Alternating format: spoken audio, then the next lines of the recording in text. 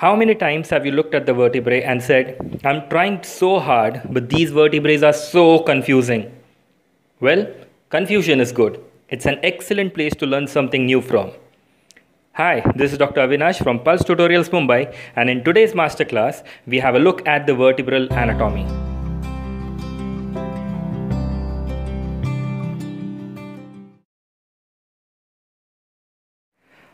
Let's have a look at a typical cervical vertebra. A typical cervical vertebra has two parts, an anteriorly placed body, also called as the centrum, and the posteriorly placed neural arch or the vertebral arch, which encloses this canal called as the vertebral canal through which the spinal cord will pass.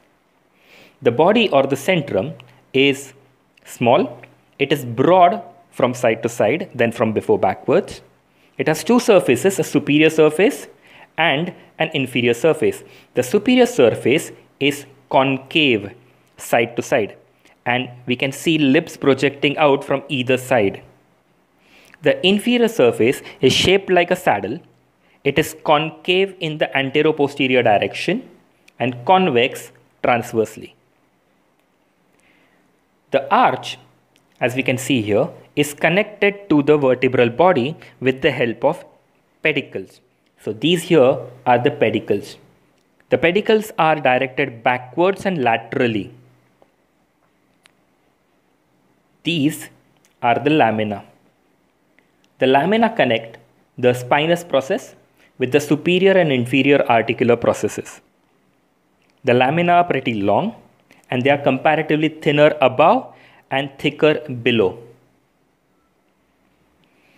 The superior and the inferior articular processes form the joints with the upper and the lower cervical vertebrae respectively. The superior transverse These are the superior and the inferior articular process. The superior and the inferior articular process form articular pillars and they project laterally on the superior and inferior side of the junction between the lamina and the pedicles. The superior articular process are pretty flat and they are directed upwards and backwards whereas the inferior process are flat and they are directed downwards and forwards. So superior articular processes are directed upwards and backwards, whereas the inferior are directed downwards and forwards. These are the transverse processes. Now the transverse processes, as you can see, have two roots. They are the anterior root and the posterior root. Between those two roots is this foramina called as the foramen transversarium and the two roots the anterior and the posterior root are attached with to each other with the help of this bar called as the costotransverse bar. The midline process seen posteriorly here is called as the spinous process.